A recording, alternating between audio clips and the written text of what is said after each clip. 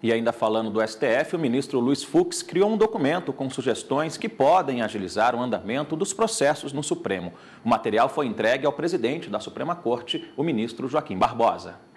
O documento foi dividido em quatro itens principais. Mais rapidez na análise de liminares com apreciação em até sete dias, reduzir o acervo de recursos extraordinários e agravos, análise de mérito dos processos de repercussão geral, e reduzir o acervo de processos criminais. A ideia é adotarmos um modelo em que nós possamos esvaziar o acervo de repercussões gerais, de processos criminais, de sorte que em 2014 nós tenhamos um número compatível é, com, por exemplo, a distribuição de feitos de um semestre.